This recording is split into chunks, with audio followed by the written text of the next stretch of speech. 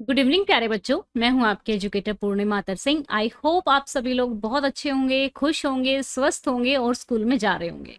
तो बच्चों, हम लोग करेंगे कार्य पत्रक 25 जिसका सब्जेक्ट है सामाजिक विज्ञान, कक्षा आपकी दसवीं है। भारतीय अर्थव्यवस्था के क्षेत्र के बारे में हम पढ़ रहे थे। हमने 24 वर्कशीट पिछली वर्कशीट में हमने देखा प्राथमिक क्षेत्रक, ठीक है द्वितीय क्षेत्रक और तृतीय क्षेत्रक के बारे में जाना।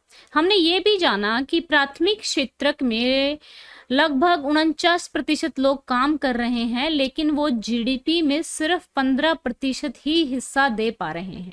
वही हमने देखा कि जो द्वितीय और तृतीय क्षेत्र है, उसमें काम तो लगभग दोनों मिलकर पचास प्रतिशत लोग काम करते हैं, लेकिन जीडीपी में उनकी हिस्सेदारी, यानी कि जो हमें पैसा देते हैं, वो पच्चीस पिचासी प्रतिशत दे पाते हैं। तो यहाँ पे ये देखो कि यहाँ पे काम बहुत लोग कर रहे हैं, लेकिन आउटपुट उतना नहीं आ रहा है, ठीक है?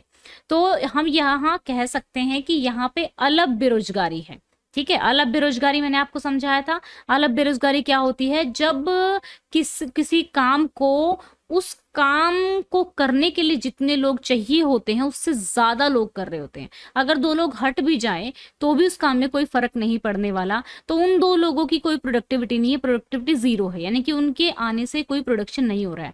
तो एग्रीकल्चर यानी कि प्राथमिक क्षेत्र में यही चीज़ हो रही है कि लोग जितने ज़रूरी है, उससे ज़्यादा काम कर रहे हैं और इसको अलग बेरोजगारी कहते हैं। अब इस अलग बेरोजगारी को खत्म करने के लिए सरकार टाइम टू टाइम क्या करती रहती है? रोज़गार का सर्जन करती रहती है। तो कई ऐसी स्कीमें चलाती है, इनमें से एक एक स्कीम है जिसका नाम है महात्मा गांधी राष्ट्रीय रोज़गार योजना। इसमें क्या होता है कि जैसे मान लो किसी गाँव में सड़क बन रही है, या फिर तालाब की खुदाई हो रही है, या तालाब की सफ़ाई हो रही है, ठीक है? तो इसमें ये योजना 2005 में लागू की गई थी। इसमें जो गाँव के लोग होते हैं, उनको 100 दिन के काम की गारंटी दी जाती है कि भी आपको 100 दिन का काम तो मिलेगा ही मिलेगा। और अगर सरकार ना दे पाए तो फिर सरकार को बेरोजगारी भत्ता देना पड़ता है। ठीक है, काम ना दे पाए तो। और ये जो काम होता है, या तो वो अपने ही गाँव में मिलता है उनको, या आसपास के क्षेत्र में मिलता है। और एक तिहाई रोज़गार जो होता है, स्कीम के तहत जो महिलाओं के लिए सुरक्षित रहता है। गरीबों में भी अति गरीब लोगों को रोज़गार प्रदान करना इसका उद्देश्य रहता है। तो देखो ये तो हो गया शॉर्ट टर्म के लिए कि हाँ भाई योजना लागू कर दी और सौ दिन का रोज़गार मिल गया। लेकिन एक तो रोज रोज परमानेंट ही मिल जाए दीर्घकालीन उपाय जो है कृषि सुविधा में सुधार होना चाहिए ठीक है ना? कृषि की सुविधाएँ जो है सस्ती दरों पर लोन मिल जाना चाहिए ऋण मिल जाना चाहिए किसी को बीज खरीद के लेकर आना है किसी को ट्रैक्टर ले आ, किसी को ट्रैक्टर लेकर आना है ठीक है ना? तो उसके लिए उसको लोन मिलना चाहिए। जो आसपास के क्षेत्र हैं उनमें उद्योगों की स्थापना होनी चाहिए। अब, जिस एरिया में मैं रहती हूँ, ये एक औद्योगिक एरिया है तो यहाँ पे इसका फ़ायदा ये है कि जो लोग यहाँ पे जॉब करते हैं, ठीक है, वो लोग यहाँ पे बने हुए फ्लैट्स में रहते हैं। और जिन फ्लैट्स में, अब ये पास के गाँव के पास में है, अब गाँव से जो लोग आते हैं, वो यहाँ पे अपना दूध भी बेच के जाते हैं, ठीक है। और दूसरा, बहुत सारी जो औरतें हैं, वो डोमेस्टिक काम करने के लिए आते हैं, जैसे कि घर का काम करने के लिए आ गई तो उनको क्या मिला? उनको रोज़गार मिला, उद्योग जब भी स्थापित होता है तो रोज़गार ज़्यादा जनरेट करता है। विद्यालय एवं कॉलेज की स्थापना की जाए ताकि और टीचर्स को जो मिल सके, बच्चों को और शिक्षित हो सकें। स्वास्थ्य सुविधाएँ भी बेहतर करनी चाहिए ताकि जो वर्क वर्कर्स हैं वो अच्छे से काम कर सकें। तो चलिए अब इसके क्वेश्चन आंसर्स कर लेते हैं। आई होप सो आपको अच्छे से समझ में आ रहा होगा। समझना बहुत ज़रूरी है, ठीक है?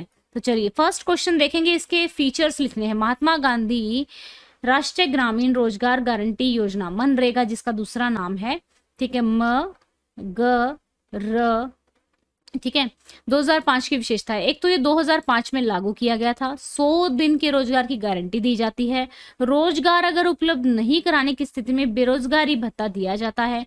गाँव में या आसपास के गाँव में रोज़गार देना होता है। एक तिहाई रोज़गार महिलाओं के लिए आरक्षित होता है। अब चलते हैं नेक्स्ट क्वेश्चन पे। अतिरिक्त रोज़गार सर्जन के दीर्घकालीन उपाय बताने हैं। एक तो कृषि सुविधाएँ प्रदान करें, सस्ते कृषि ऋण दें, अर्ध ग्रामीण क्षेत्रों में उद्योग स्थापित किया जाए, अधिक स्कूल और कॉलेज खोले जाएँ और अस्पताल खोले जाएँ। ठीक है?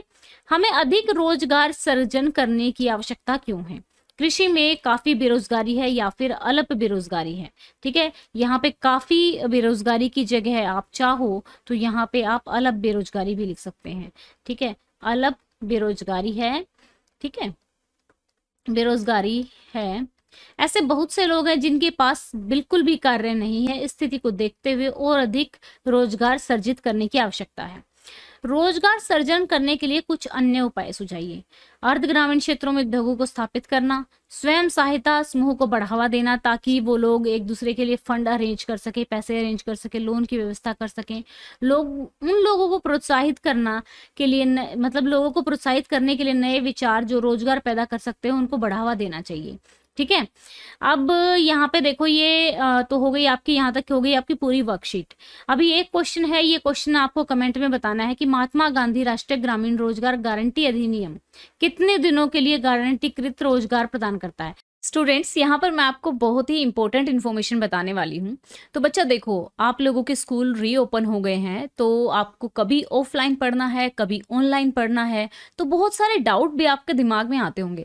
तो आपको बिल्कुल भी फ़िक्र करने की ज़रूरत नहीं है अन अकेडमी पे आप अब बिल्कुल फ्री में पूछ सकते हैं अपने डाउट्स को। और डाउट्स का within a second video solution आपको मिलेगा। और साथ में अगर आप पाँच डाउट पूछते हैं, सिर्फ़ पाँच अगर आप डाउट पूछ लेते लेते हैं तो आपको सात दिन के लिए अन अकेडमी का प्लस का सब्सक्रिप्शन बिल्कुल फ्री मिलेगा। तो ये ट्वेंटी अगस्त से जो ये ऑफ़र है आपका, ये ट्वेंटी अगस्त से फिफ्थ सितंबर तक वैलिड है। ओके बच्चा तो आप डाउट पूछेंगे कैसे? पहली बात तो लिंक है डिस्क्रिप्शन में। डिस्क्रिप्शन में दिए हुए लिंक को क्लिक करो। अगर आप एन अकेडमी पहली बार यूज़ कर रहे हैं तो आपसे कोड मांगा जाएगा, वो है पूर्णिमा टेन। पूर्णिमा और टेन में कोई स्पेस नहीं है। ठीक है? पूर्णिमा टेन। ओके बच्चा? तो यहाँ पे देखो, आपको ऐसी स्क्रीन मिलेगी जहाँ पे आप डाउट एंड सोल्यूशन को क्लिक कर सकते हैं।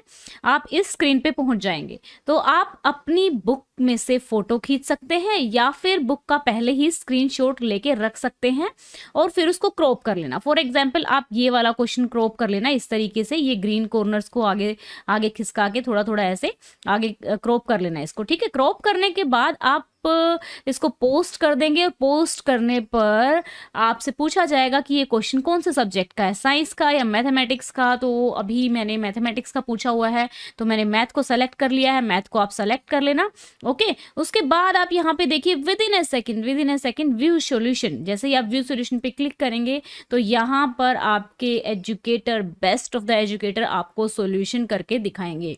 तो बहुत ही अच्छा ये आपका डाउट दूर करने का तरीका है और साथ में आपको प्लस का सब्सक्रिप्शन तो मिलेगा ही। ध्यान रहे बच्चा, लिंक मैंने डिस्क्रिप्शन में दिया हुआ है और डाउट पूछने के लिए आप कोड यूज़ करेंगे पूर्णिमा टेन।